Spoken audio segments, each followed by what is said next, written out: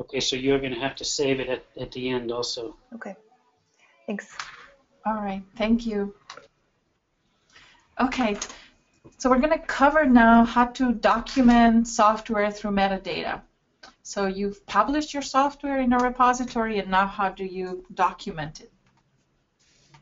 Uh, so we talked about publishing your software on your website or maybe in a repository. Is, is this sufficient for others to reuse it now that it's out there and it's public, right? So we want you to think about the difference between putting your software in a repository where it will reside and um, putting some metadata about your software in a registry. So um, so GitHub, for example, is a is a good case of a repository where you put the software there. It supports uh, versions. It supports a group of developers. Um, it doesn't ask you for very much in terms of describing your code. So everybody will put a README file, the license you can put somewhere, the contributors, and that's about it. There's other repositories. Um, uh, MATLAB Central is a good example where they'll have um, places where you can actually put some more detailed descriptions of your software, your, your MATLAB code. Uh, CSDMS is uh, one of the repositories in geosciences for models, and um, they actually have a quite extensive set of metadata that you can attach to the software. So software metadata is really uh, useful information about the code that helps others um, search and find it, uh, just like you use metadata for data.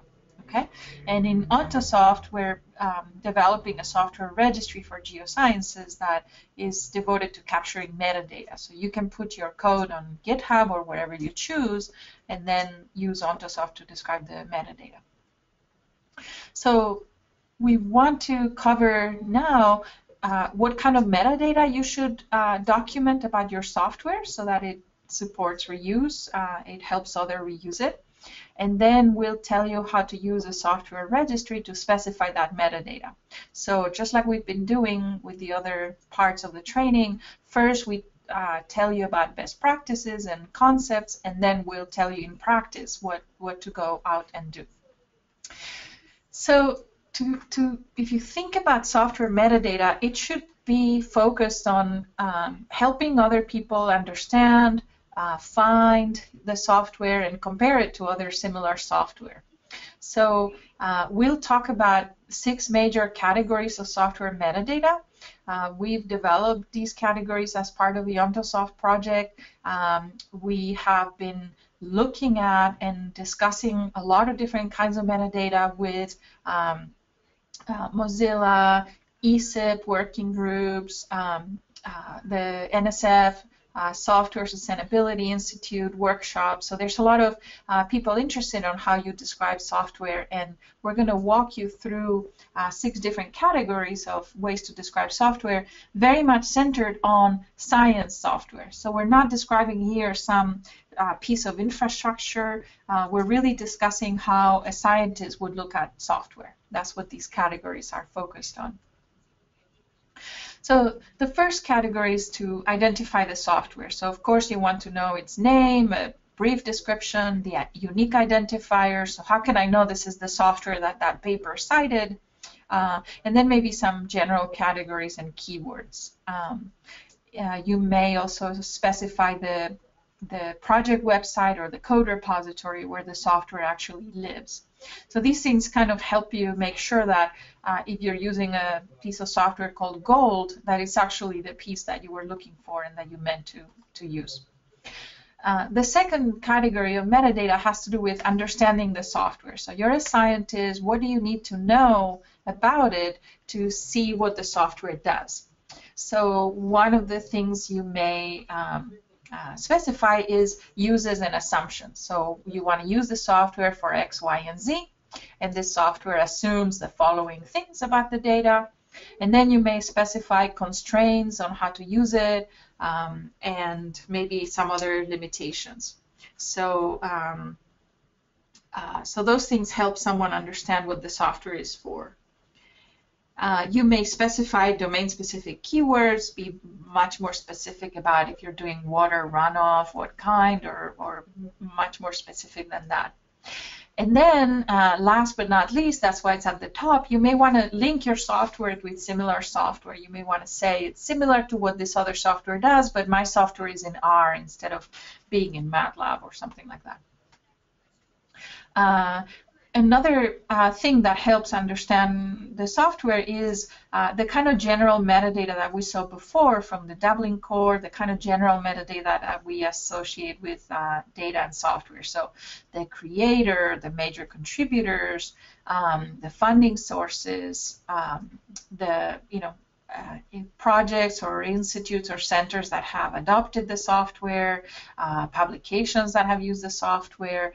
Uh, it also helps you understand the software if you see general use statistics, you see how popular it is, the ratings by users.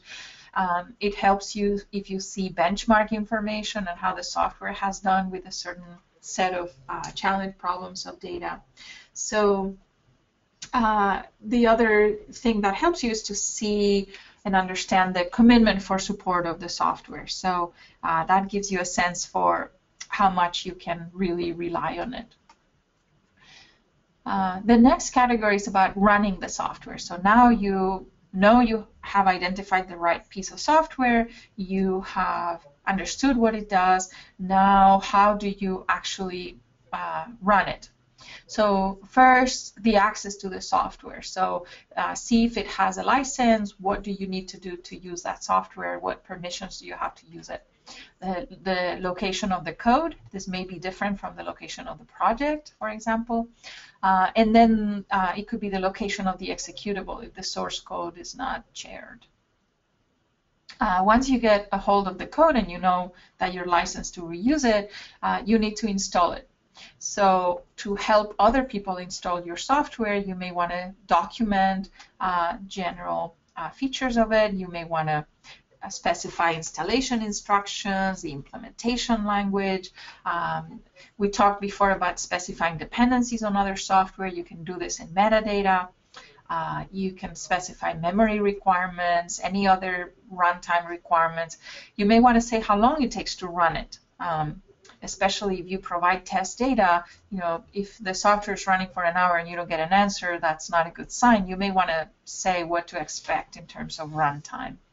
And there can be a lot of other things to say about software installation. So there may be parallel code, maybe you run the software uh, using clusters and you want to specify further things. So there may be a lot more things that you say about installation, but those are at the top, the general things that you may want to say. And then um, how uh, you can uh, run it. So you've installed it, you know all the dependencies, you have everything ready, and so to run it, you really want test instructions and some test data. So these are all to do with executing the software.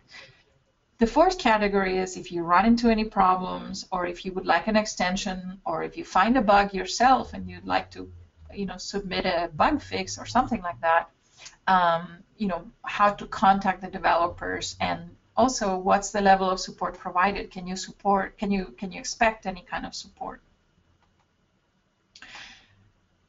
The, the fifth category of metadata for software is um, metadata that helps you actually do research. So one aspect of doing research is experimenting with the software. So you're running data, you're trying different parameter values and so on. And in order to be able to do that, uh, you need to know what the input data is, what the parameters are, what is the output generated, and also uh, give your potential users a list of uh, relevant data catalogs or data sources that they can consult to try out uh, their problems with uh, data. So for example, if you are publishing a hydrology model and one of the inputs is the elevation of the terrain, you may want to point to some national elevation maps that uh, where that you normally access to to get your data for elevation. And so that way people can run their own um, uh, catchments with uh, the national elevation data sources. Uh, then uh, you may also do research with the software, but you want to now visualize the results, or maybe your data is in a different kind of format. So it's nice if you mention that together with your software, there's other pieces of software that you use in combination. So you may say, I, you know, here's the model, but actually when I prepare the elevation data, I'll use this script that I published elsewhere, or I'll do this data visualization with the results, and you publish those other pieces of software, and so that gives someone else the idea that they can actually compose the software that you're publishing with other pieces of software to really do more of the end-to-end um, data analysis. Uh, eventually, you may want to want to compose the software together into a workflow. We'll talk more about this uh, a bit later.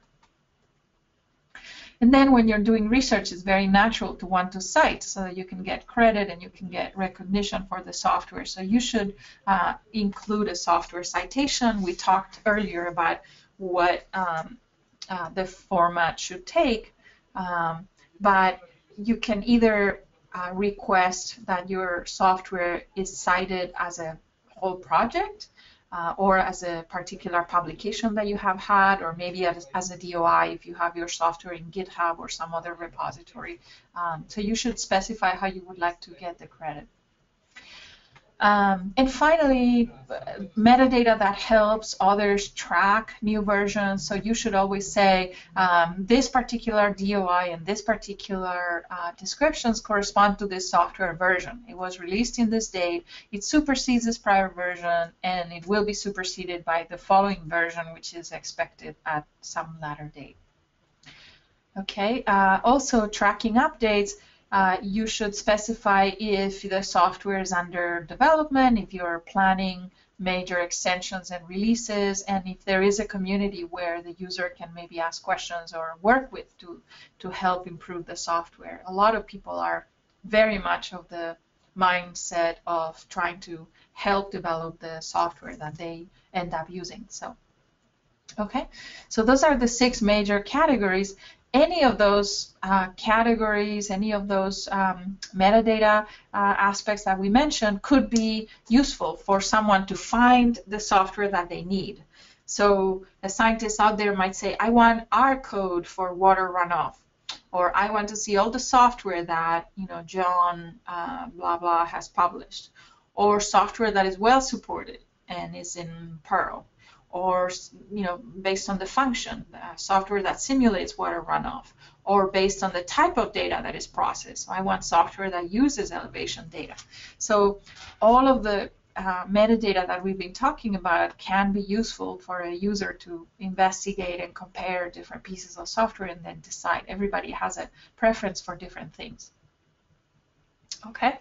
Uh, so so here's a, a few um, uh, scenarios where you that may give rise to questions. So, for example, what if you release many versions of the software?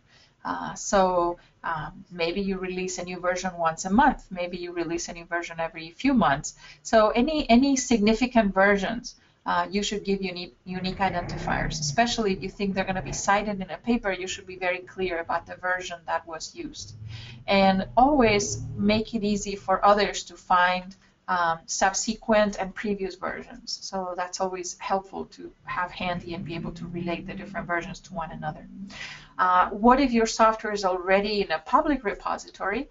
Well, then you should consider creating a good documentation and description of the software in addition to just making it public and saying, you know, uh, there's a paper that generally uses this software and it's how in doing that research, that's how I wrote the software. Uh, so try to document the software uh, properly yourself.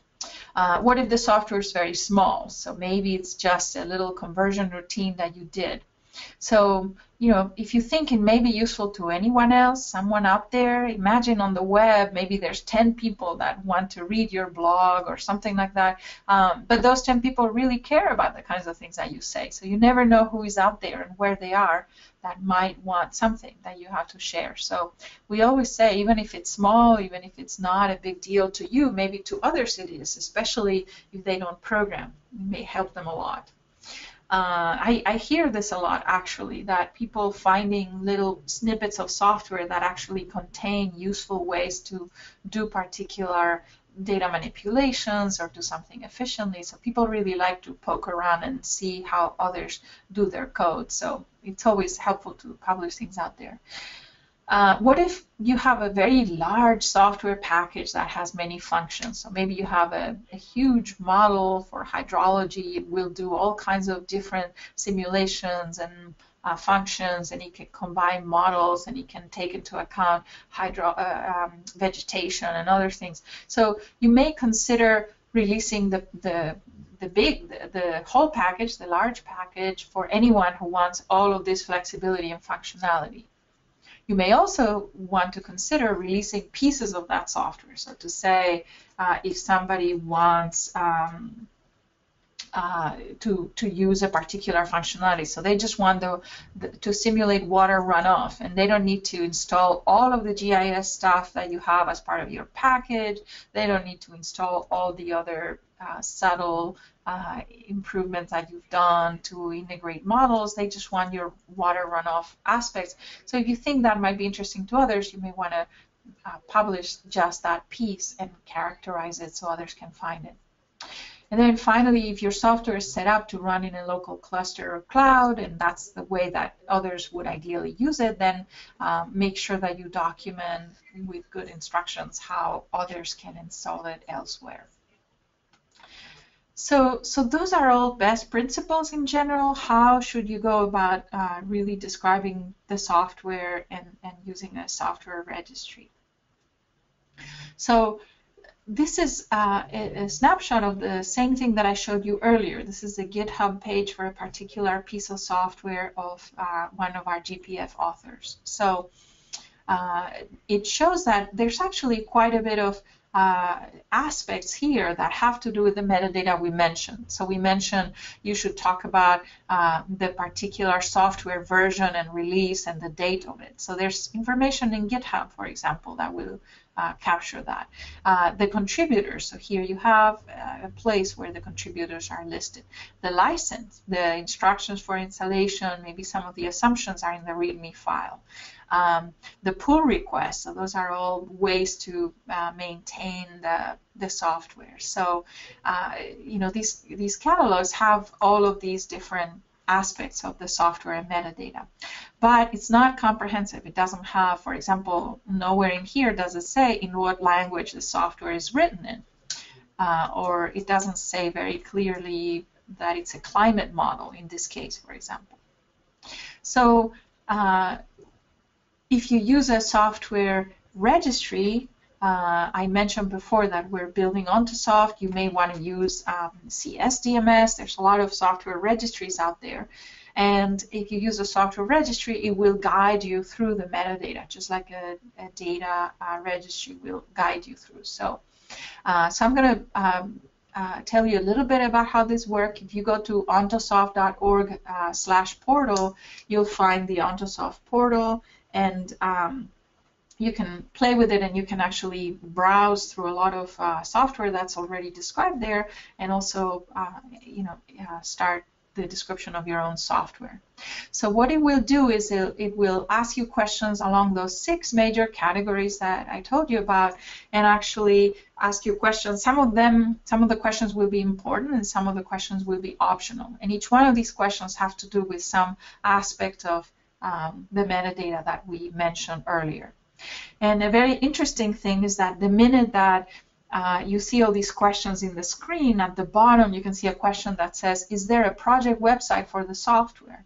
So if you uh, put in a URL to a GitHub site, then it will crawl through all the metadata that I'm highlighting here in red from the GitHub site and will start to populate the answers to some of these questions okay?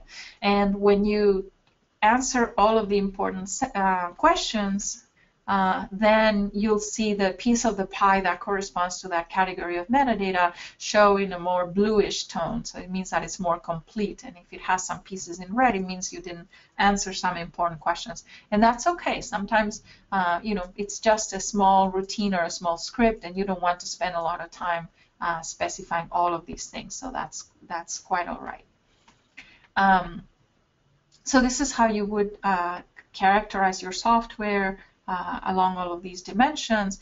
The other thing is that if you go to Ontosoft, you can uh, find software on various topics, uh, so keywords, for example, hydrological models or the language that they're written in. So you may find similar software to yours, and so that will help you uh, compare uh, to other software as well. And so when you introduce your software in your paper, you can say it's similar to this other software if you're more familiar with it, except that mine does things in this other different way. So at the moment, we have uh, more than 600 entries. Um, many of them have come from CSDMS, the CSDMS repository. Uh, others have come from the C4P uh, Research Coordination Network that is part of EarthCube. So this is Paleo Geoscience. Um, and they actually got together and decided to compile themselves all the major pieces of software that they use. Um, many of them uh, are available from various NOAA websites. And so that way their community has this cluster of software uh, in a repository that they can search and, and look through.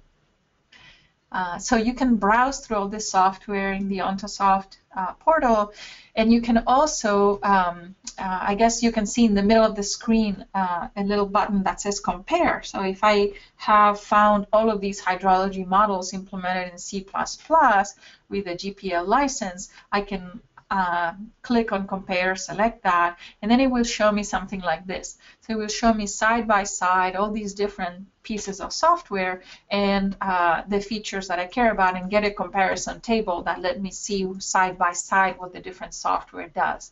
So if I care a lot about um, understanding the software, maybe the one on the very right is not a good one to use because it you can see that there's more red, so it might not be very well described.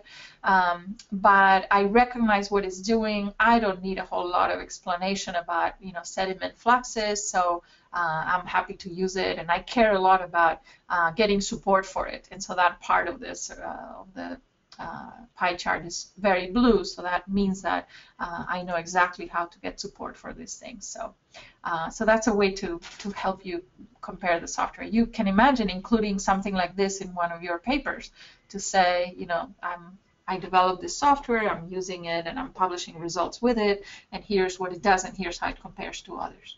Okay. The other thing that we let you do is take your software and uh, sorry, take all this metadata about your software and you can ask for uh, uh, the metadata. So what we'll do is we'll give you an HTML file that has all of the metadata, all of the questions that you answered. So you can put it on your GitHub page, on your project page, on your personal page, and it will have all of this documentation, all of this different metadata about your software. Um, you can ask for an XML, or if you're um, if you want to use RDF, for example, the semantic web language versus just XML, uh, we can give you that as well. So that means that uh, the, the description of your software is structured so that machines can actually access it on the web um, as well. Or you can get JSON, and so you may want to use it to, um, you know, do some uh, manipulations on the metadata programmatically if you choose to do so. But um, in general, at least get the XML, HTML and publish it on your uh, software website. And so others will have a good uh, roster of all the ways that you've answered the questions. So you can use a tool like Ontosoft. You can use any other um, uh, software registry to document it. I mentioned CSDMS, that's another really good one to use. And uh, really the simplest possible thing that you can use is to you know put your software somewhere and describe as much metadata as you can. So uh, the slides here have gone through a lot of different kinds of metadata so you can just document it informally you can just make sure that you pick a license make sure that you uh, document uh. So, so just do your best as, as, at describing software metadata. This is the simplest approach because even though this is a very active area of research and of discussion in the community, I know ESIP has a forum for software description and citation uh, that's very active and, and will take some time to come to recommendations and so on. Uh, there's no universal or standard recommendations in terms of software metadata. There's not even a Dublin core for software metadata. So at least do your best at describing and maybe use these slides as a checklist. Um, uh, but of course, if you want to, you can, um, you know, go to uh, the Ontosoft site, uh, maybe CSDMS if you choose, and then just go over all the questions that um, uh, you, you can answer about your software, and that way it will be more comprehensive than otherwise. And then take the metadata and publish it in your website. Okay, that's the simple and the ideal approach to, to software metadata. Any questions about this portion?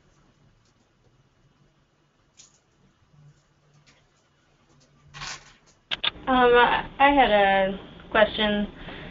Um, I'm trying to write up documentation for the for a, a model that I developed, and I'm kind of writing it like in a manual style.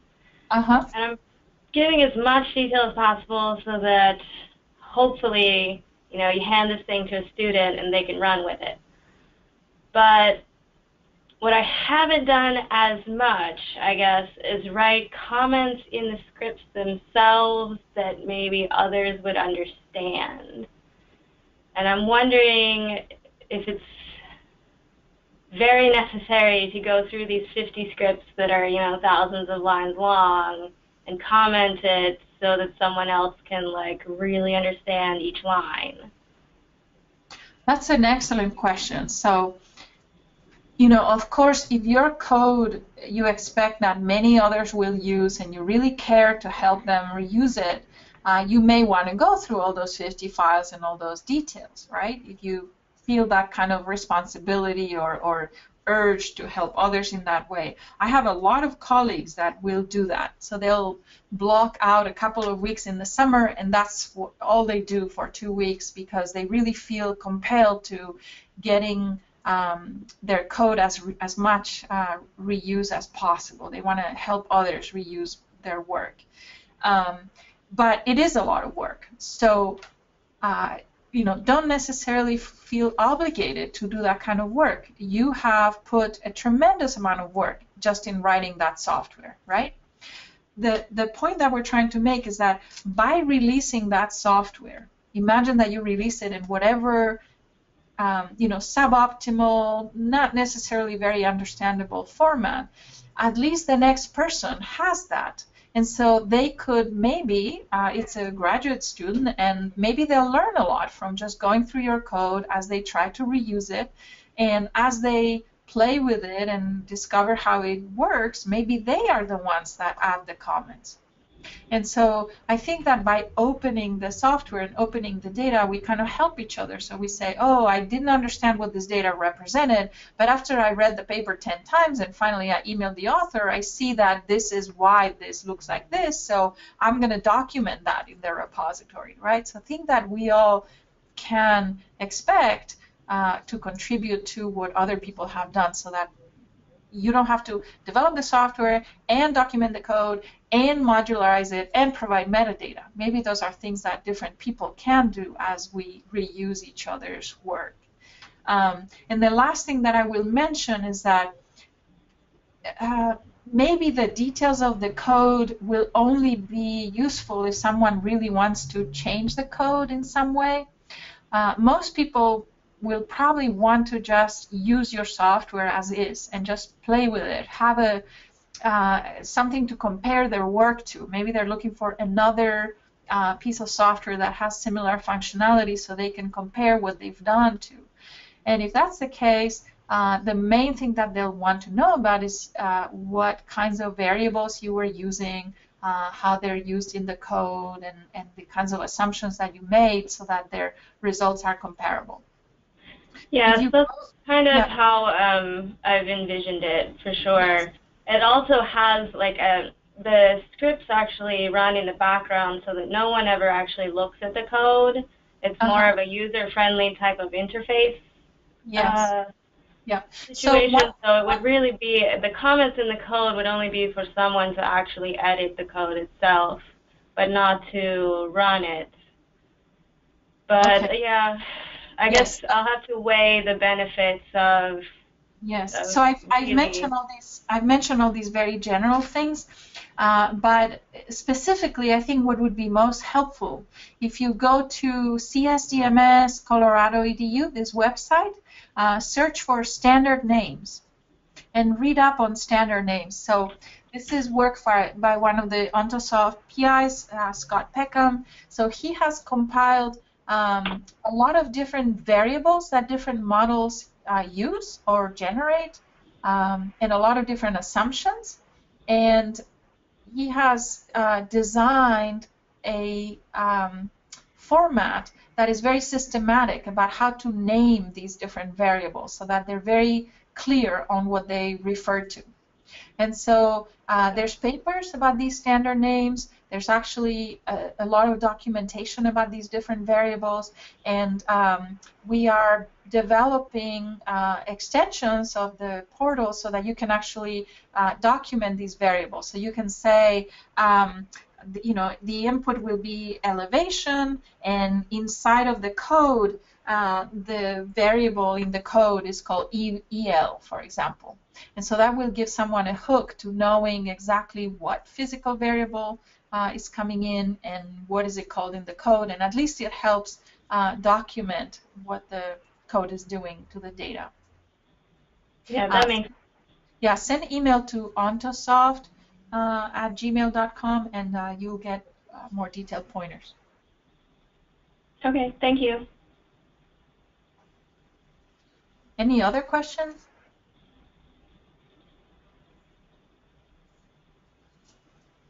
I might have one more. Um, Uh-huh. If no one else has anything. Uh, you mentioned about test data, Uh-huh.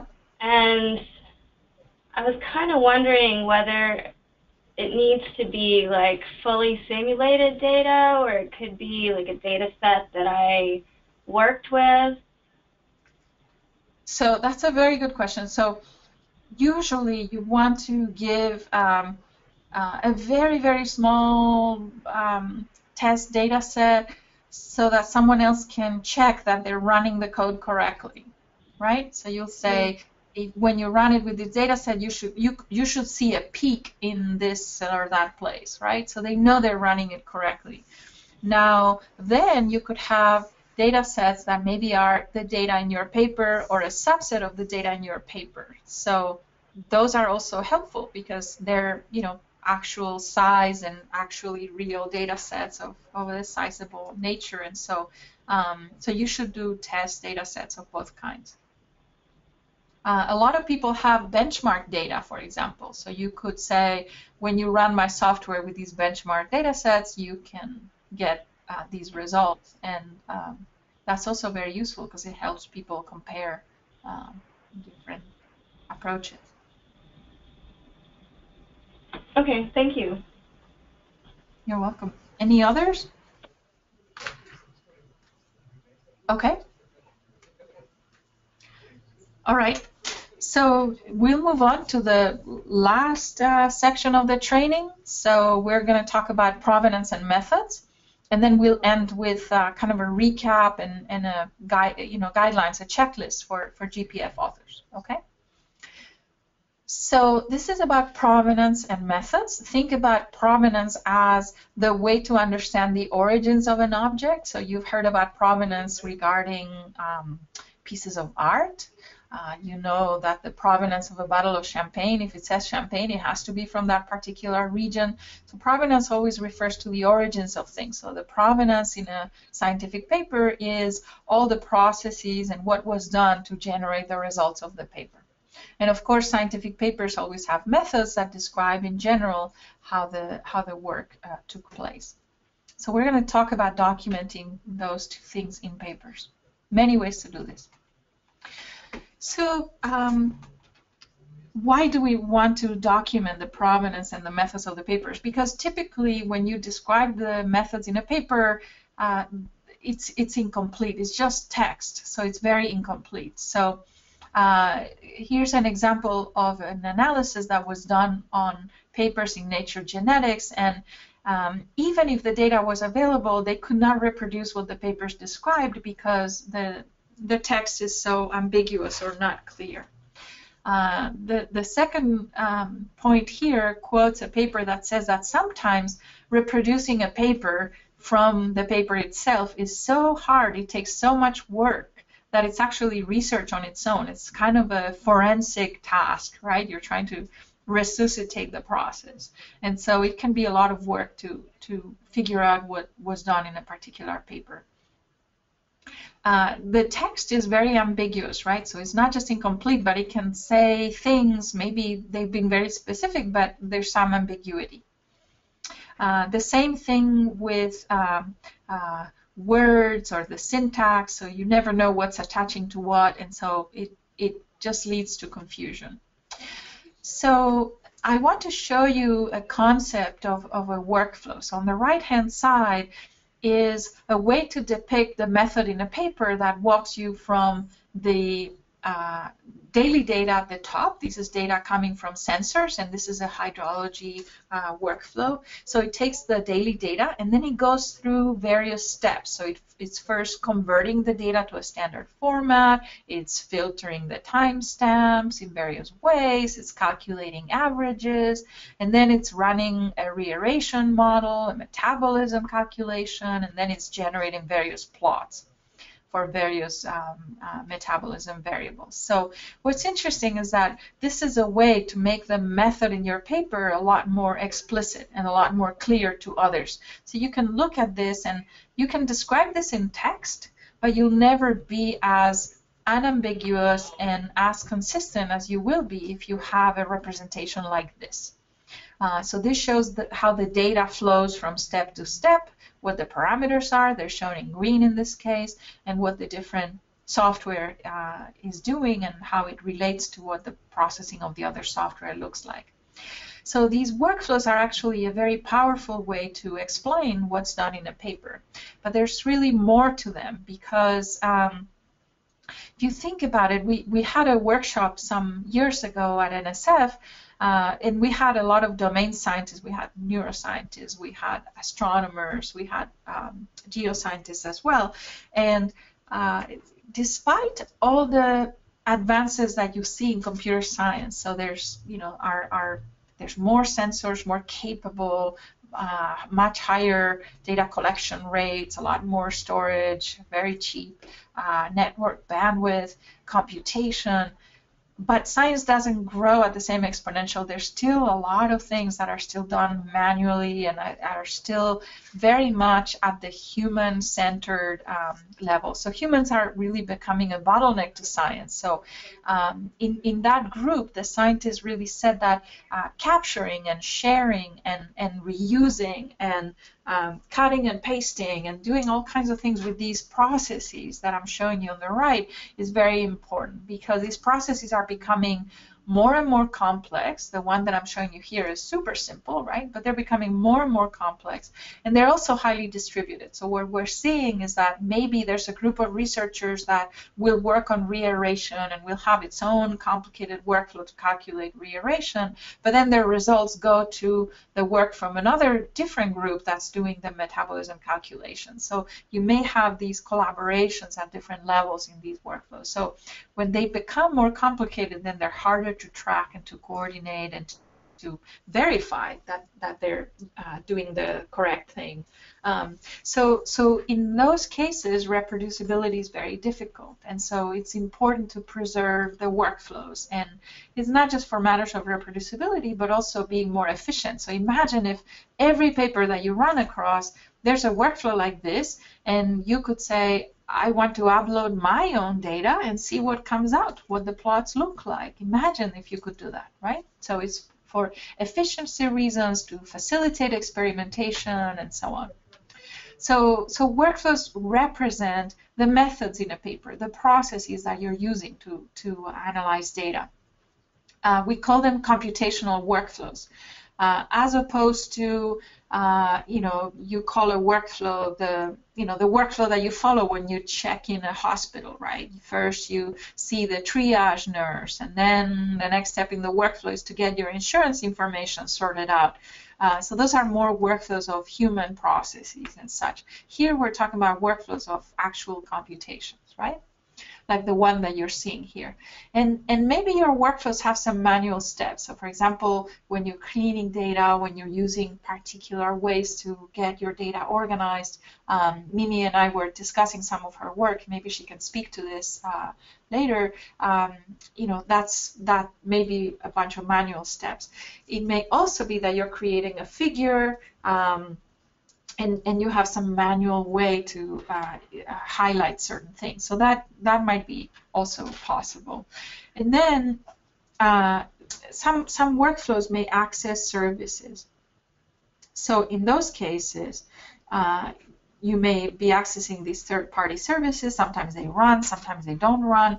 So the, the workflow becomes a little bit more um, harder to document, but you have to say these things. So if you're if you have a step where your metabolism depends on the sunrise and sunset, and that's going to access the NOAA website uh, service uh, somewhere inside, then you you should document those dependencies as well. So, but the workflows really represent the data analysis process. Um, one thing that we wanted to highlight is that your methods that you describe in a paper may be at very different levels of abstraction. So for example, in this uh, particular metabolism uh, uh, workflow that I was showing you, there's a step, and uh, it's shown on the left, um, that does reaeration, right? But maybe I chose a particular method for uh, estimating reaeration. So I chose the Churchill model from Churchill 1956. There may be 10 others, so I could have used the O'Connor Dobbins. And so it's, sometimes it's important that you say exactly what kind of reaeration method you used. Uh, so you're referring to the particular algorithms or models. And then on the very right, you're referring to implementations. So you're referring to your implementation of the Churchill model in R and it may be that um, uh, it's, uh, uh, you know, it may have a bug or it may be a little bit using approximations of some kind or rounding things up in a different way. So, so you can see the value of uh, conveying your method at any of these three levels. So it's your choice to choose one or choose all of them. Uh, and you can see that others may be able to take away things in different ways, right? So if you write a paper that says, I use the Churchill model um, here, someone maybe in another discipline may not be familiar with it and may not know that it's a reaeration model. So maybe seeing something on the left would be more clear to them. Um, so, so there's value on each of these levels, and you can document the methods in a paper at, at any of these levels. Um, how do you develop one of these workflows? So this is this is at a, a, very simple initial level. This is how you do this. So first, compile all the. When I say compile, maybe that's a very bad word to use here, but collect, collect all the command line invocation for all your code. Okay. Um, so this means uh, you have maybe your 50 different scripts, and so you may want to say, you know, here's all the uh, command lines that I use to call each one of them uh, for the work that I did in this paper. And the command line tells you what the input data is, what the parameters are, any configuration files, and make sure that you include also any data preparation codes as we've been emphasizing here. Okay? So once you have all of these command lines, um, think about how the data flows from code to code okay? And the, those data flows are those arrows that you see in our workflow sketches, okay? So you start uh, at the top with your input data, you lay out your input data, and then you start to work through the codes uh, that process that input data. Maybe some of the input data goes to several codes, and then the output of each code goes to the next code. So you start uh, sketching the, the general data flow, okay? Uh, you see on the right the original uh, sketch for the workflow that I showed you before, right? So you can see that there's a bunch of reaeration models. The Churchill model is only one of them, so that step kind of has three different models that you can use. Uh, but you can see that you have the data in the blue rectangles, then you have data preparation steps, uh, and you can see a little bit of the sketch. And then the actual workflow had these, but you know, more uh, fleshed out uh, kinds of steps. Okay, and if it gets large to do this, then then just break it down into sub workflows. So. Uh, you know, you can modularize and, and drill down into details whenever you need. And if any of the steps has manual intervention, you should indicate that in some way. So uh, that's in a nutshell how you develop a workflow. Uh, and maybe if you look at some examples of workflows, you'll get a hang of it and, and have an easier time developing these. Uh, so here's the, the sketch again and the actual computation workflow on the right hand side. So it's pretty close, but for example, you can see that at the very end there's a uh, step um, to do the computing the metabolism. And then on the right actually after that you do another script that creates all the plots of things variables that you want to see. So you can see a little bit of a different um, emphasis. So okay so that's the workflow. The workflow is kind of the general method that you follow and how the codes work together. Uh, I want to talk about provenance. Provenance is about when you actually run all the codes and you generated figure 6, how did you actually set the parameters, what parameter values you used, and, and what did you actually run, right? So I want to talk in general about what provenance is, and then we can talk about the provenance of papers in a bit more detail. So, uh, so provenance usually refers to uh, processes, so what was done to generate uh, a result, uh, it may refer to documents, sometimes they're called resources, um, and it may refer to entities, people, or institutions. And let me let me explain a bit more about this. So provenance refers to uh, when you talk about the provenance of an object, or if it's a digital object, we generally call these resources. So the provenance of a resource is a record. So it means that it's an explicit um, uh, uh, log, an explicit recording uh, that describes entities and processes that were involved in producing that resource.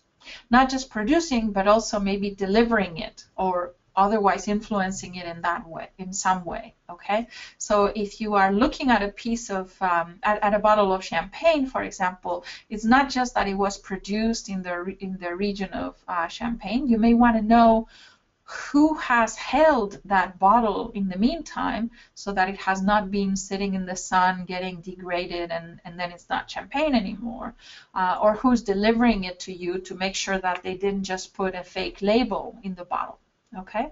So that's what provenance refers to and it's very critical for you know checking authenticity for trusting something particularly in science but also to allow reproducibility. Uh, and I want to emphasize that provenance results from past actions. So provenance refers to I actually ran all this software and got this particular figure as a result. So it's uh, executions that you run in the past. That's what you're describing with provenance. Uh, methods are general ways to calculate reaeration, as we were seeing in the workflow earlier. Okay, that's the contrast between provenance and workflows. And then provenance is a kind of metadata. So certainly it's metadata about uh, uh, processes and resources and, and, entities that were intervening to generate an object. So if you collect um, uh, data from a sensor and now you run it through some process, it's important metadata to know that it comes from that kind of sensor. But not all metadata is provenance. So for example, you can have a data set and one of its metadata characteristics is its size and the size has nothing to do with provenance. It's just a characteristic of the of the data. Okay. So uh, let's let's look at these in turn. So so provenance as a process refers to the computing steps, the actions that we're taking. A workflow is a very good way to say, I use this process, and this is how I, cr I created figure five of this paper, right? It's a general description of the process and the activities. Another aspect of provenance is what documents or what data or what resources you used that tell me uh, what uh, materials were involved in your processes. So uh, usually those are maybe the initial data that you use for your workflow, or maybe um, you know documents or assumptions that you consulted. So so uh, for example, Wikipedia, I think one of the reasons why it's very successful is because it documents the provenance very well. It's really um, you know, in science we're used to citing people, but in you know real life and on the web, people don't cite their sources very often. So the fact that Wikipedia paid attention to that is uh, a testament to how much we trust it, because it actually tells you where things came from. So so provenance also has to do with where did the assumptions and the data and other input resources came to your process. And then the third piece, uh, or the third view, is provenance as entity. So people, people or institutions uh, in getting to you the resource that you're looking at. So this is an example that I quite like, which talks about the provenance of a piece of information. The piece of information being uh, Prince Harry did not do drugs, right? So that's an assertion. And who said that? who, what entity is that related to? So it was actually came from a New York Times article. Presumably there was a journalist involved. Uh, they got the news from Reuters, and they're reporting that there was a press conference. So there was a speaker talking on that press conference, and it talks about Buckingham Palace because that speaker actually represented uh, Buckingham Palace, and it said that. So you can see that there's you know, different entities involved in telling you how that piece of information, how that resource got to you.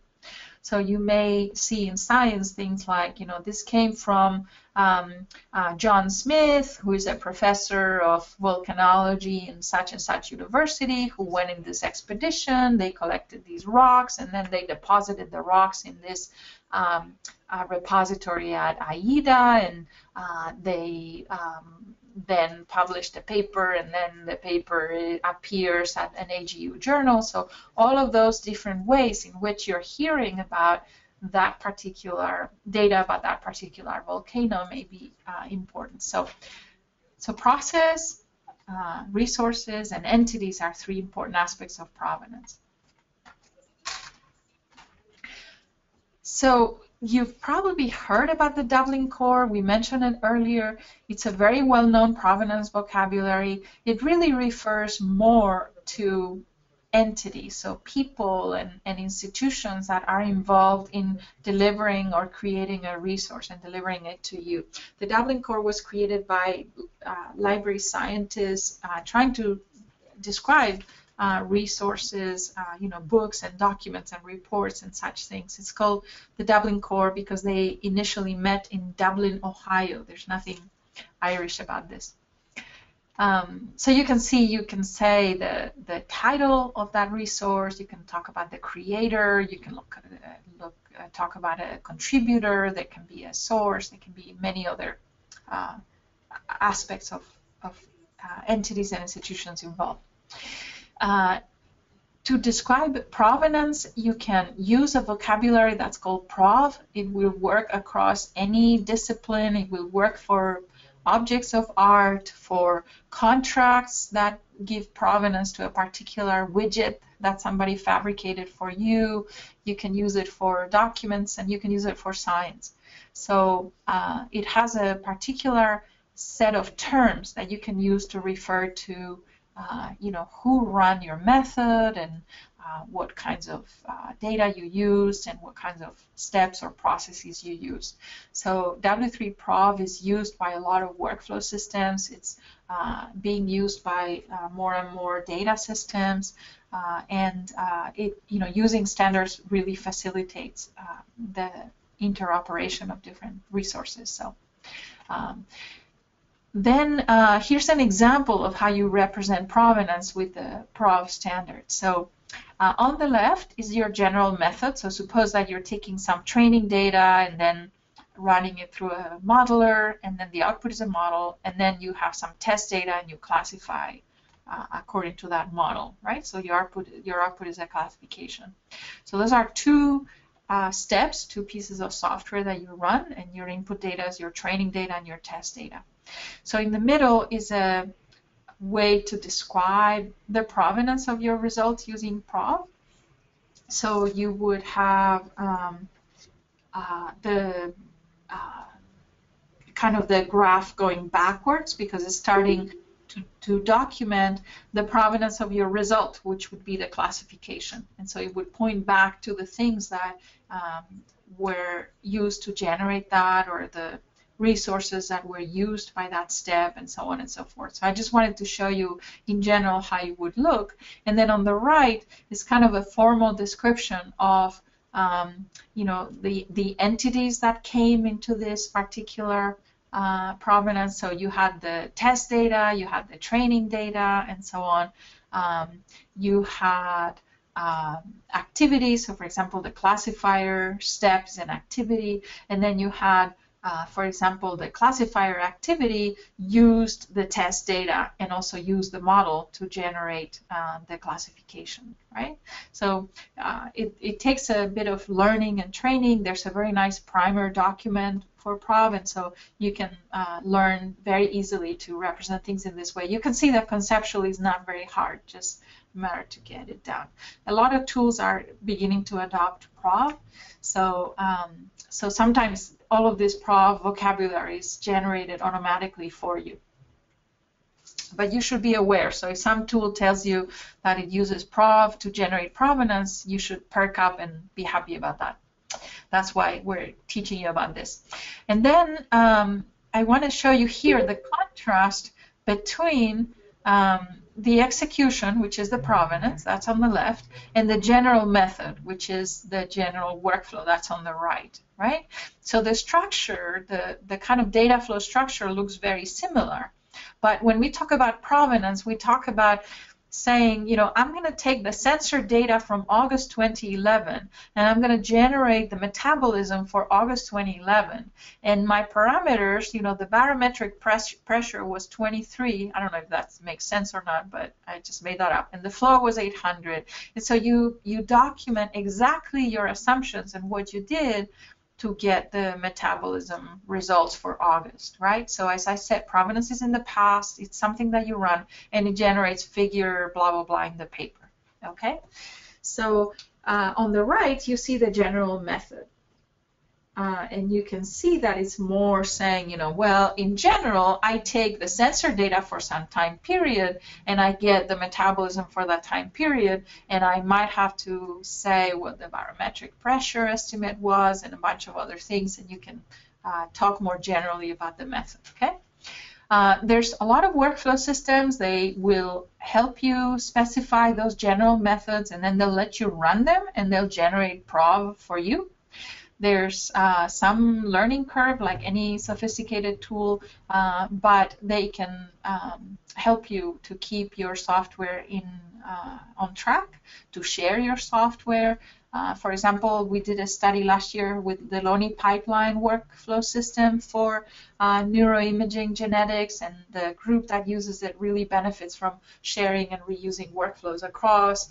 The workflow system will run their workflows in the cluster and they don't never know that there's a cluster behind. They just push the button and magic happens. So uh, different workflow systems have different capabilities, but um, they're very useful.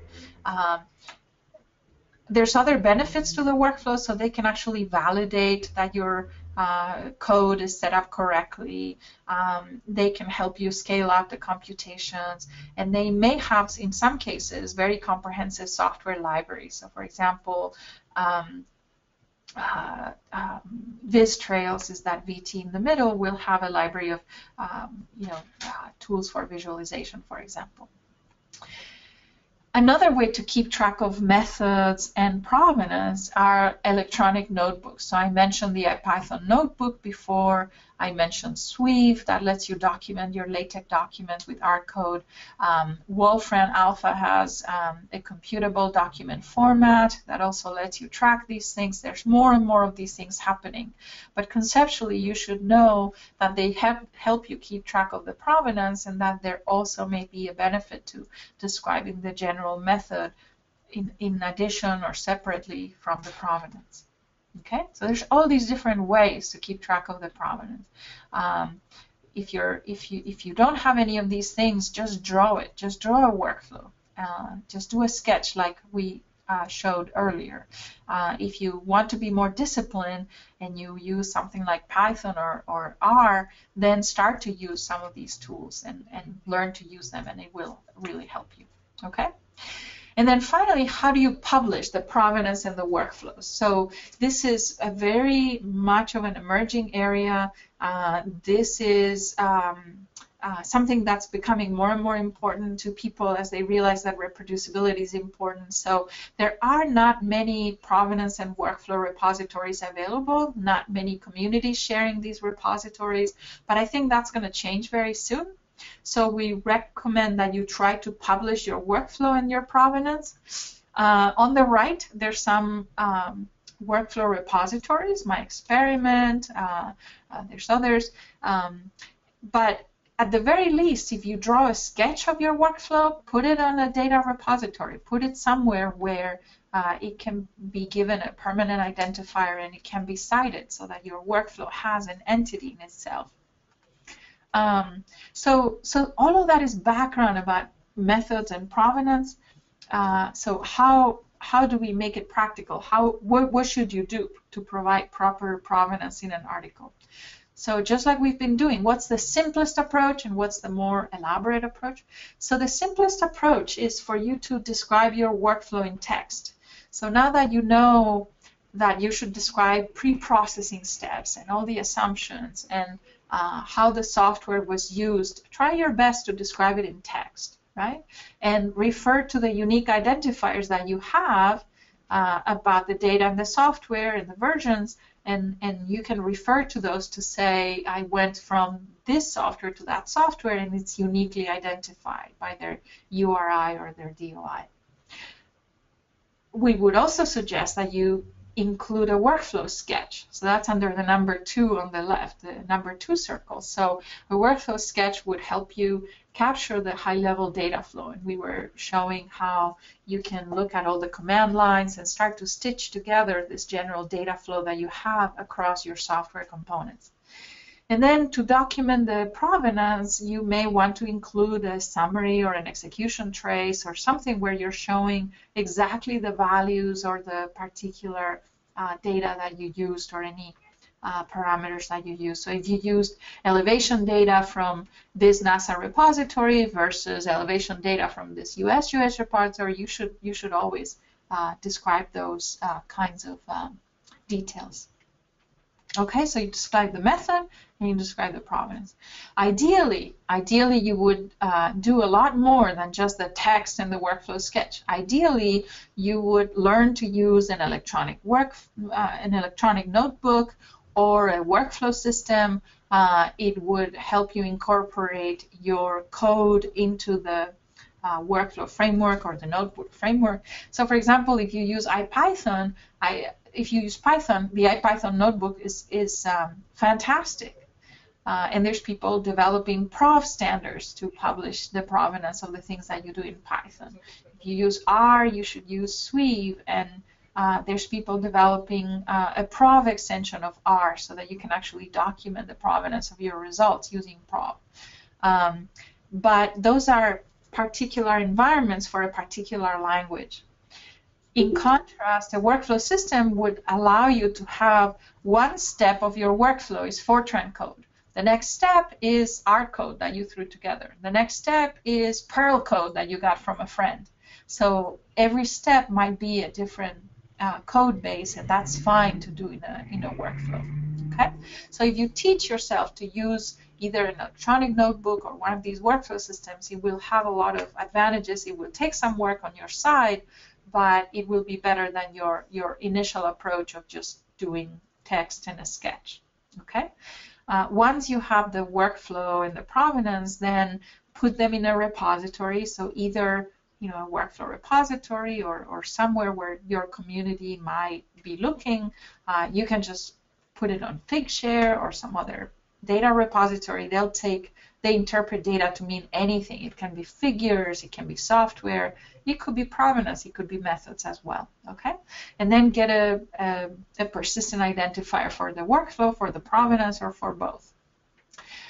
And then how to show the provenance and the workflow in the article. So typically you describe it in the methods section. You should include your workflow sketch as a figure. Uh, you could put it in supplementary materials if you don't have room. And then your provenance could be a, a, trace that you show or, or an actual prov record. And then uh, you should cite them in the paper. You should give them a URI and, and cite them just like you cite data or uh, software. Uh, so that's it for the provenance and the workflow uh, section. And I'm going to stop and see if you all have questions.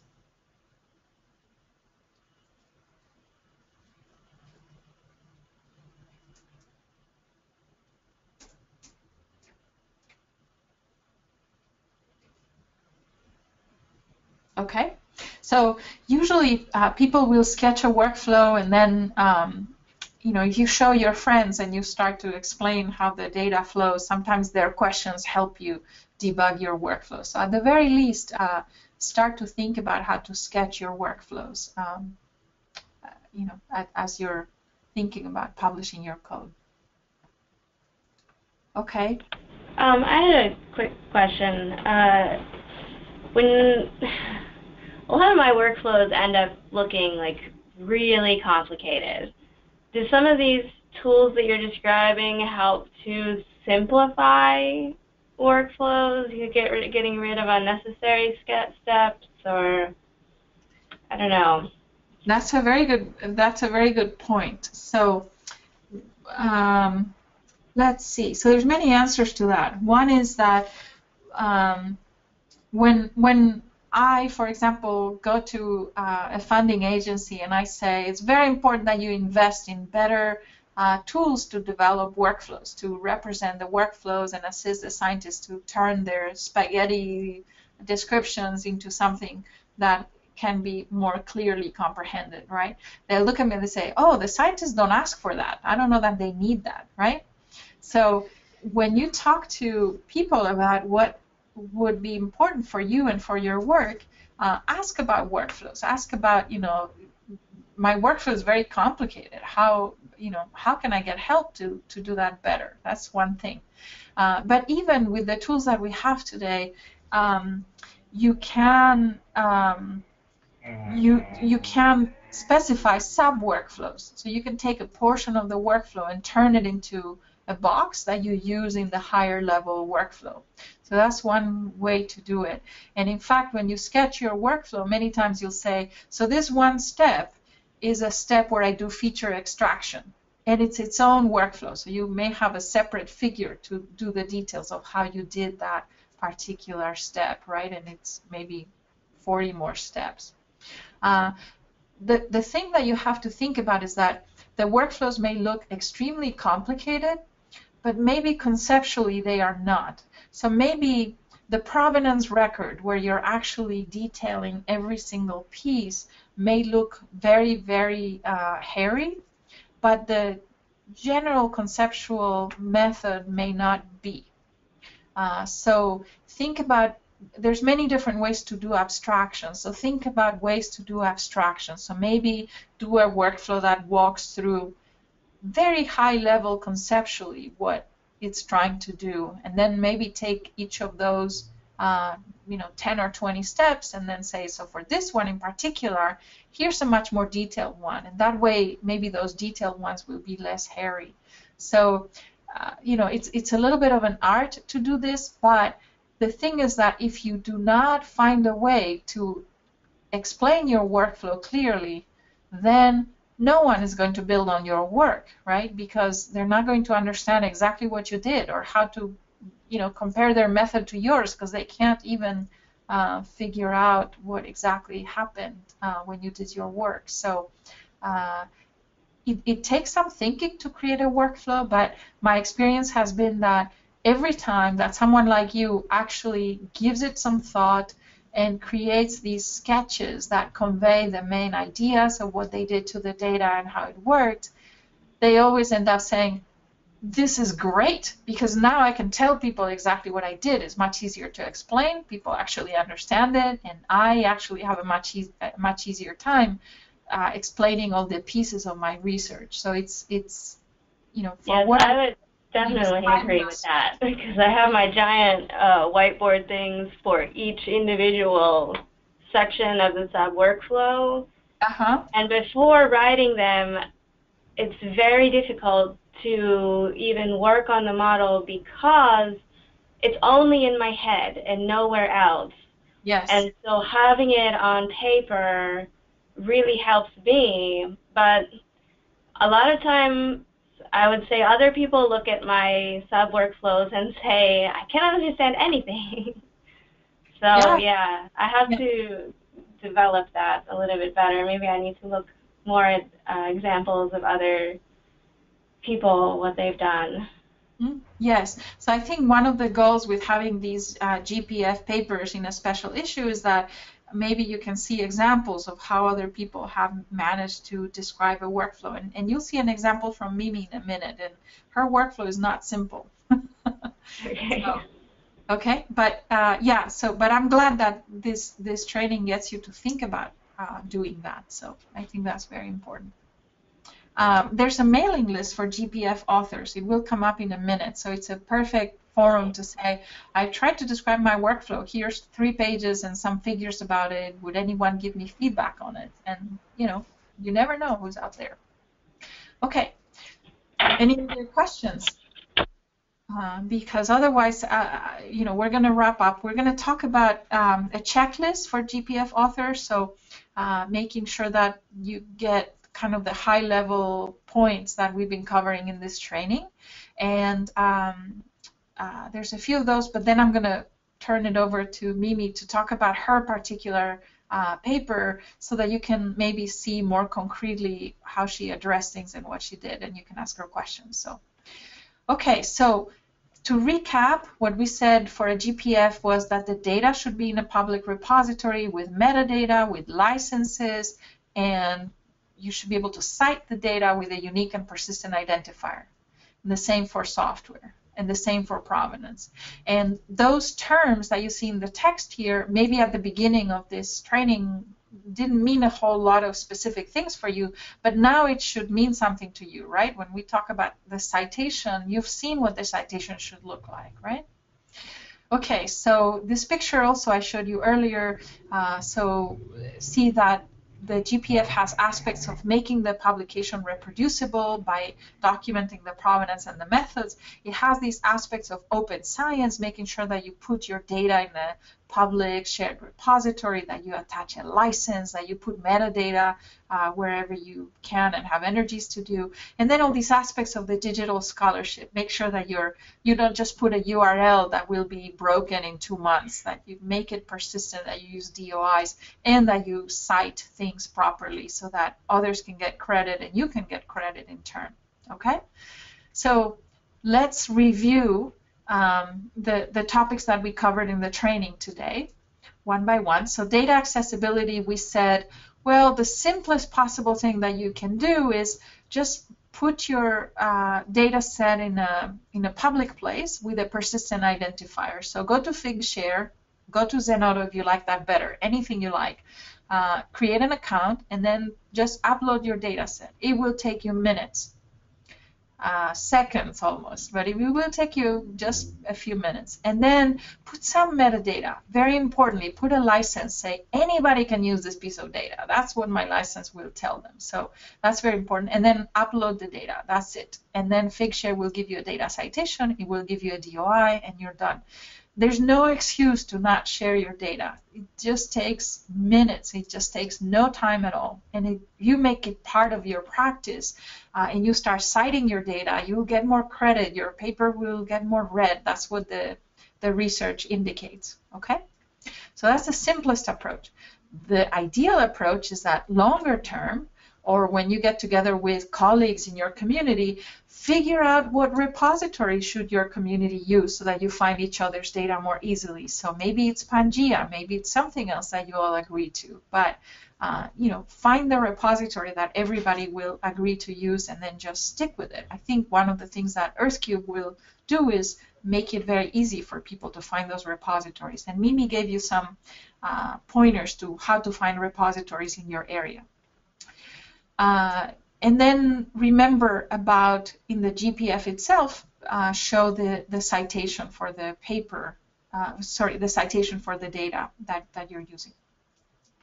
Okay, uh, to document the data, remember at least put uh, general purpose metadata like the creator, the date, the name of the data set. Ideally, you would put more metadata. So if you're using water data, you may look at a standard like WaterML. If it's climate data, the CF metadata would be great. Ocean, you have the marine metadata, MMI uh, metadata. So, so find some uh, metadata that people use in your field and, you know, you can spend more time. That would be the ideal approach. Uh, in the GPF, you would actually show all this metadata as, um, you know, your your your data lives somewhere, and it should have a pointer to these metadata descriptions. Or if you have a, a data paper, or if you want to add the metadata as supplementary material. But this data documentation should show up in the paper as well. Uh, making the software accessible, remember we said simplest possible thing, it will take you minutes. Just post it on your site and make sure that you get a permanent URL. Or post it on Figshare. Just get an account, upload it, you're done. And at the very minimum, specify some metadata like who you are, that you're the author, and include a license to tell others how they can use your code and then what kind of citation you want for your code. Um, the, the citation should have the version, we mentioned that, but it's very similar to the way that the data is cited. Uh, the software documentation, we mentioned the simplest possible thing that you can do is just be mindful about the types of metadata that we mentioned before. If you use GitHub, there's a lot of places where metadata goes. If you put the software in your website, just think about all the different categories of of metadata that we mentioned earlier to describe the software. Ideally, you use something, uh, OntoSoft is an example, we talked about CSDMS, uh, there's other repositories, CIG and others, where you actually go through uh, forms to, to specify this metadata. And remember, you can save this metadata as HTML or XML and then bring it to wherever you have the code, to GitHub or wherever else. So you'll have all of that documented. And then in the paper itself, you could have uh, all of this metadata supplementary material. You could make it part of a, uh, you know, uh, uh, part of, it's pointed from your uh, the software repository itself, so you just mentioned that, uh, but you make sure that you say in the paper that this software documentation is available. Then we talked about provenance and methods. So the simplest thing to do is to just describe your workflow in text, include a sketch, and then for provenance, just the trace of a run where you're actually recording the settings of all your parameters, etc. And then uh, ideally you would document more things. So you may use an electronic notebook or a workflow system to really record all the details automatically and uh, publish the workflow and the provenance uh, structures. You know, get a persistent identifier or a DOI. You can post them in a data site like Figshare, for example, and get a DOI and show that. Uh, in the GPF, you can include these sketches and these workflows in the paper, um, or you can use uh, execution traces, just include them in the supplementary material. And then finally, and we haven't mentioned that yet, but just like all of your data and your software has a DOI or a, or a permanent URL, every author should have that. So I have a colleague whose name is Jihie Kim, J Kim. There's millions of J Kims in the world, so she can never be uniquely identified. Uh, there's a biologist uh, very, that publishes a lot in biology that has my name, Yolanda Gil. So uh, it's impossible to distinguish her record from my record very easily, and machines cannot do this very easily. So you need to use something like uh, a, a unique identifier for yourself. Every researcher should have one. And so a place to do that is uh, ORCID.org, uh, and uh, the, the journal that we're using, the AGU journal, also has instructions on the website to do this. But just get an ORCID for yourself and you can have it forever. Um, so, so that's it. That's the GPF author checklist. And um, kind of, I hope it helps summarize and write things together. And like I promised at the beginning, we give you the simplest possible approach that will take you minutes and then the more complicated, longer term investments that you can make to teach yourself about additional things and what you will get out of them. Um, I'm going to pass it on to Mimi for a second so that she can um, talk about uh, her paper. I think that might be one of the most uh, interesting things for you to hear about. So um, can you pass the screen to her? Yep, I will pass it.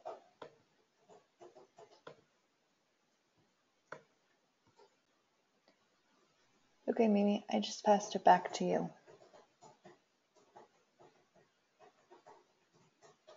Okay, and I guess I'm back on. Can everyone hear me? Yep, we can hear you and see you.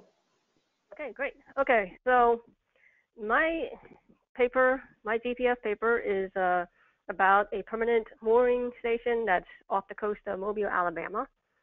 It's been running since 2004. It is still going. It's had two different funding sources, well, three different funding sources in that time, uh, two official ones, and then right now it's just being funded by uh, the Dauphin Island Sea Lab. Um, okay, so here's the location. This is the Gulf of Mexico, Dauphin Island. Let me see if I can. Okay, yeah, Dauphin Island is this far here. I'm over here. This is where the mooring is. Um, and this is the instrument array that is at this mooring. It's got a buoy. It's a 20 meter depth. It's got a moor, a, a buoy at the top. It's got a CT surface. It's called a surface CTD, but it's actually about four meters down. And it's got thermistors. There's five of them. Uh, each thermistor just records temperature, except for the bottom one, which sometimes records pressure also. The YSI instrument uh, is mostly there to record uh, near bottom dissolved oxygen. And then you've got an ADCP, which is a acoustic Doppler current. It collects uh, current velocity data, water current velocity, and then it's got a bottom CTD um, that collects uh, temperature, salinity, and depth at the bottom. Okay, so the data that comes off of here, it comes, we've been collecting it since 2004. Uh, because there were two different funding sources, we wrote metadata for this, the whole thing in two parts. The 2004 to 2006 part was under a compass was under a, was actually a, originally um, an oil was a gas or oil it was something like that. They were trying to use it to figure out how they could get liquefied natural gas out of that spot, and so they were going to do a an impact environmental impact study. So that's where the mooring originally got established. And then after that, it went into the FOCAL program, which was fisheries oceanography and coastal Alabama, from 2006 to 2012.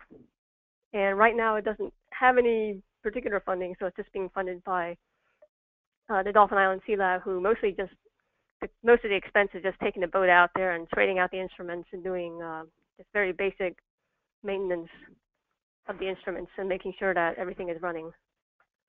Um, okay, so the types of data that comes out of there, mostly a lot of temperature. Uh, we also do a CTD cast. Um, when we get out there each every time they go out there to exchange the, the moored instruments, they do a, a vertical profile, which basically you drop the instrument package from the surface, it goes to the bottom, and then comes back up. That you can get just a vertical line of temperature, salinity. Uh, there's actually about 12 different variables that it measures. So, and this, these are temperature, and this is from the current velocity, the ADCP at the bottom.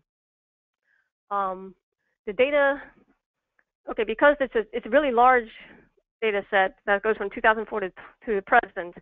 Uh, for my paper, I just took the part that was there was like a few months in 2011 that uh, one of the uh, the faculty members here was using for one of his papers, and so I thought, okay, we'll just take that little subsection of it and document in detail exactly how it uh, was how it was processed from the time that it was downloaded from the sensors at the array and, and you know all of the individual processing steps that it took to do the data preparation to get it to a point where you can use it for uh, scientific data analysis and start using the data for asking actual science questions and doing research with it.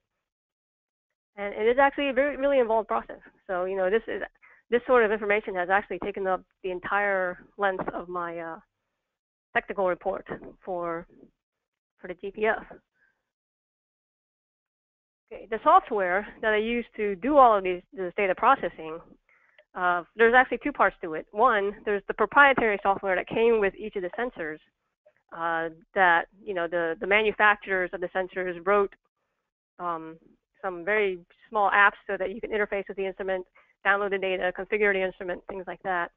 And you use those pieces of software. They're all graphical user interface based. And you use that to uh, do the initial processing to get it from the completely raw data.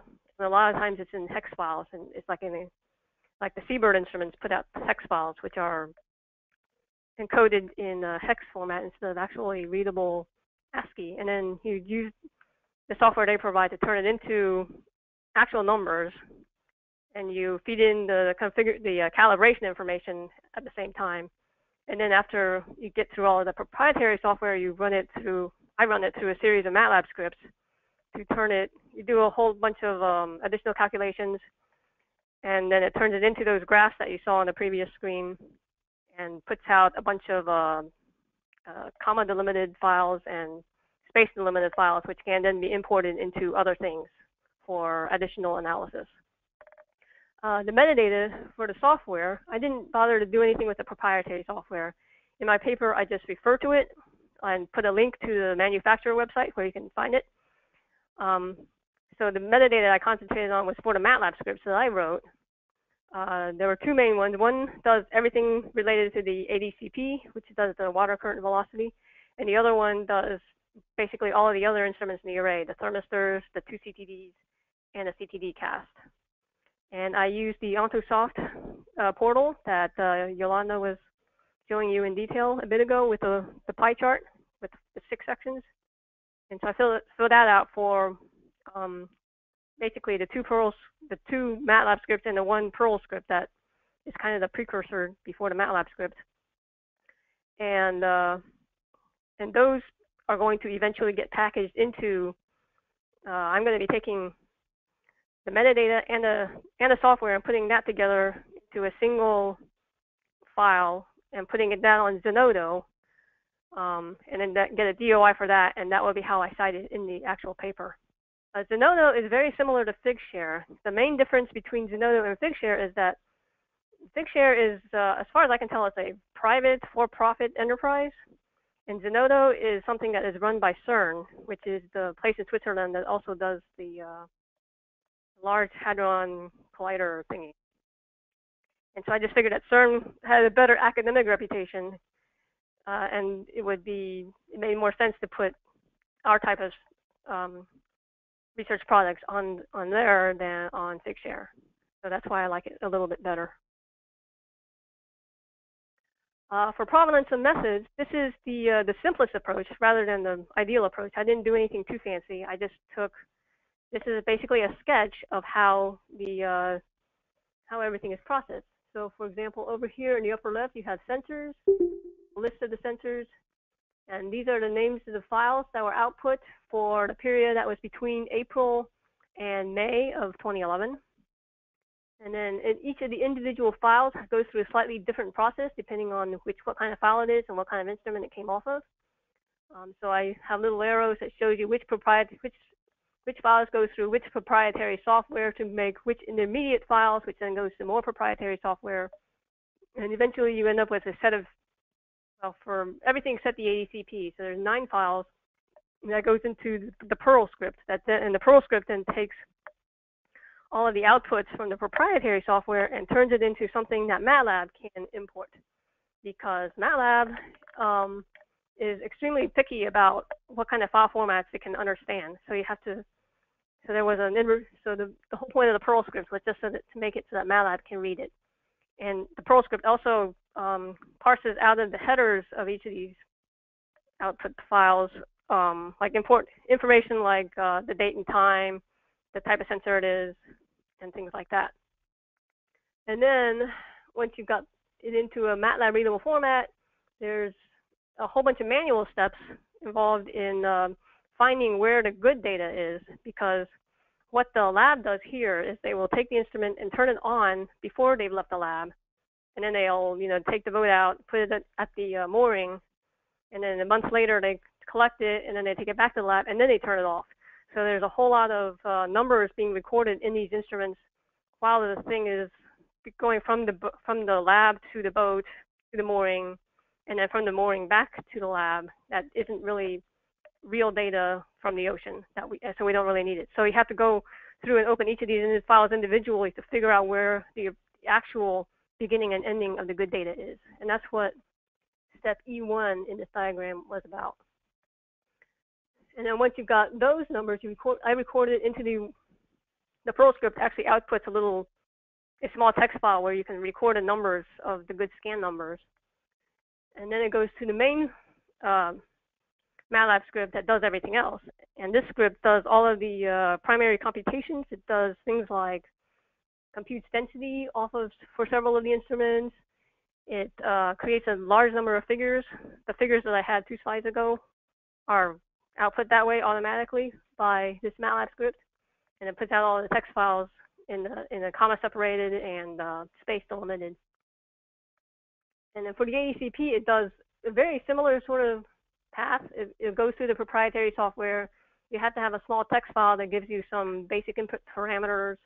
You have to go look up where the beginning and ending uh, scan numbers are for where the good data started and where the good data ended, and also which bin which vertical bin is at the top because um, because as, you get closer and closer to the surface, there are more errors in the uh, in the upper, and so you want to look for the one that's as high up as possible that still has mostly good data and and stop there.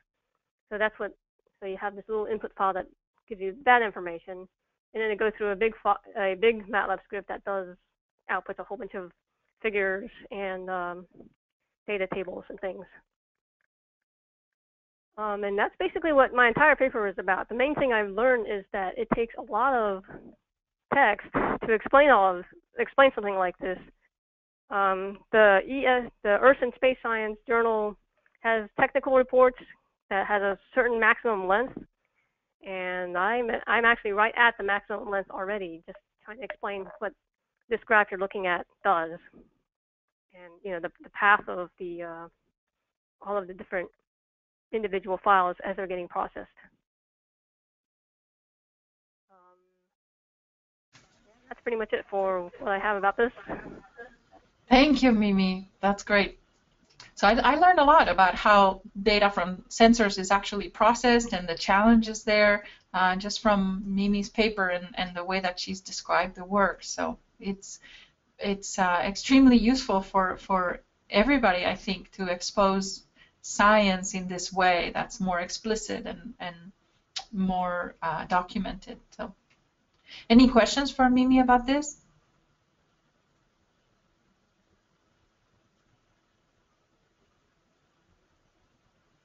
Okay, so so this is an example. There will be a lot of different papers in the special issue that will give you examples about different uh, kinds of uh, uh, GPFs in different areas, so you can uh, learn from examples as well.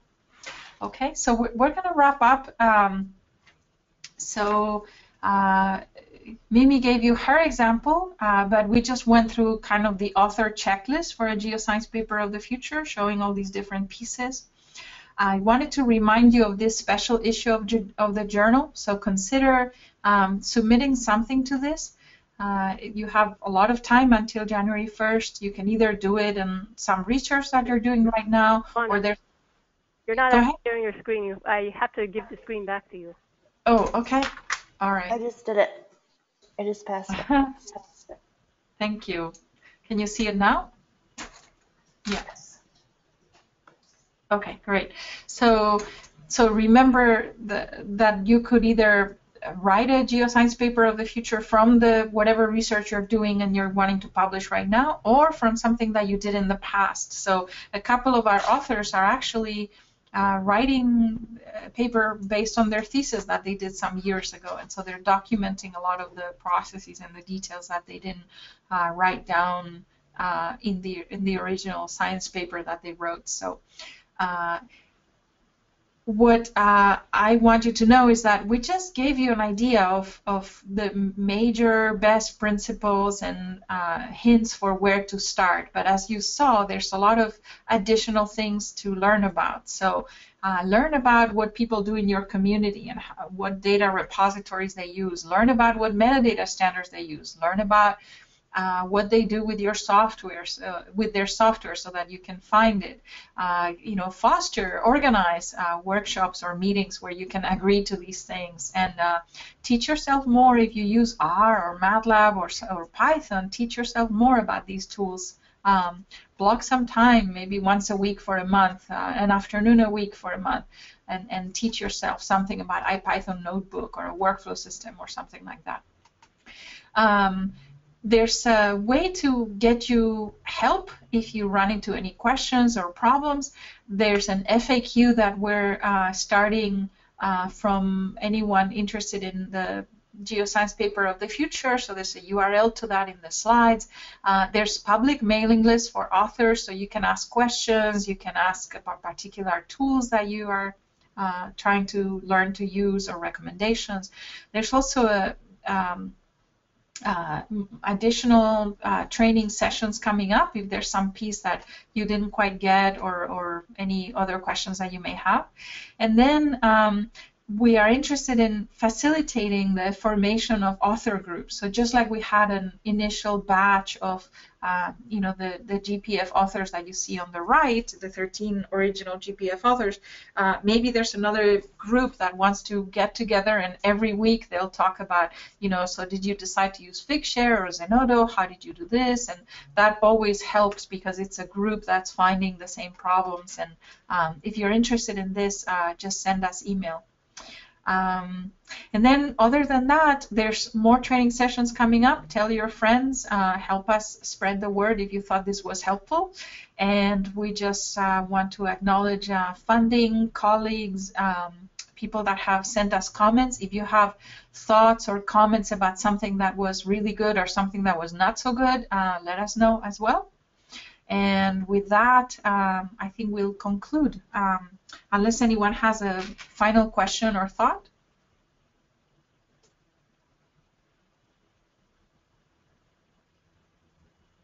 Okay, thank you for staying with us, and I hope this was useful to you, and um, I hope to read your GPF very soon. Thanks. Thanks, Yolanda. Thanks, Sarah.